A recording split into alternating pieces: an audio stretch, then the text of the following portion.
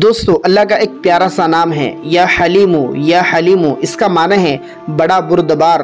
इसके नौ बड़े फ़ायदे हैं। दोस्तों, नंबर एक फ़ायदा इसका यह है कि जो शख्स हर वक्त या हलीमो या हलीमो पढ़ता रहेगा, अल्लाह सुबहान व ताली हर जगह उसको कामयाब करेगा और हर आफत और मुसीबत से अल्लाह सुबहान व ताली बचाएगा। इस नाम को कसरत से, बहुत ज़्यादा पढ़ने की बरकत से अल्लाह हर मुसीबत से आपको बचाएगा।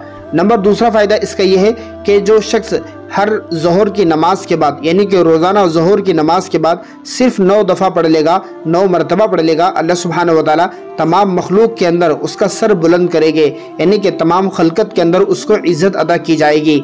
नंबर तीसरा फ़ायदा, जो शख्स दुश्मन या मुद्दई या किसी हाकिम के सामने हो तो ऐसे शख्सों को चाहिए कि वो ग्यारह मरतबा पढ़कर एक पानी पे दम कर दे और अपने चेहरे को धोकर उस हाकिम, उस दुश्मन के सामने जाए, अल्लाह सुबहान वाली उसके दिल को नरम कर देगा और वो आपके सामने, वो ठंडा पड़ जाएगा, यानी कि आपको वो कोई तकलीफ़ नहीं पहुंचाएगा। नंबर चौथा फ़ायदा जो कोई शख्स इस नाम को लिखकर, यानी कि या हलीम को लिखकर, या उसको धोकर अपनी खेती में या किसी झाड़ को उसका पानी डाल दे तो इन अल्लाह सुबहान व ताली उसको बेहतरीन फल और फूल अता फरमाएँगे और उस दरख्त के अंदर बरकत होगी। उस बागीचे में या खेती में, जिस खेती में या बागीचे में इस नाम को पढ़कर, इस नाम, इस इस नाम के पानी को पढ़कर डाला जाएगा, अल्लाह सुबहान वाली वहाँ पर बरकत अता फरमाएगा।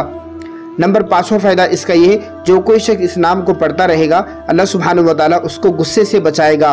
गुस्से से होने वाले नुकसान से उसको अल्लाह बचाएगा। नंबर छठा और सबसे बड़ा फ़ायदा यह है कि जो शख्स इस नाम को पढ़ता रहेगा, अल्लाह उसके दिल को नरम फरमा देगा, हलीम और बुरदबार फरमा देगा। तो दोस्तों, हमें चाहिए कि हम इस नाम के वजीफ़े को करें और इस नाम के वजीफ़े को तमाम दोस्त, अहबाब, रिश्तेदारों में शेयर करें, ताकि किसी न किसी को फ़ायदा हो।